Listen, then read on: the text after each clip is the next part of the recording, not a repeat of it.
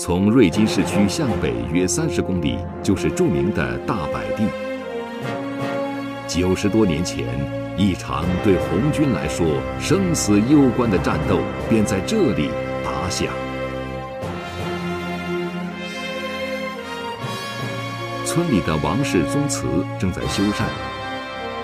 当年就在这座祠堂里，红四军前委部署了作战计划。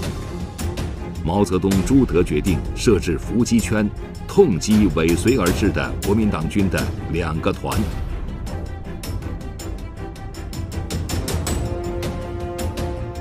一九二九年二月十一日上午，当国民党军进入早已布设好的口袋阵。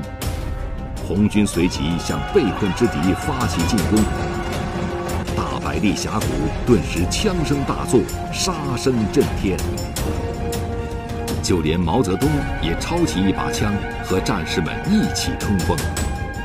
这是他一生中唯一一次拿枪上战场。鏖战至中午，红军共毙伤敌军三百余人，俘敌八百余人，缴枪八百余支。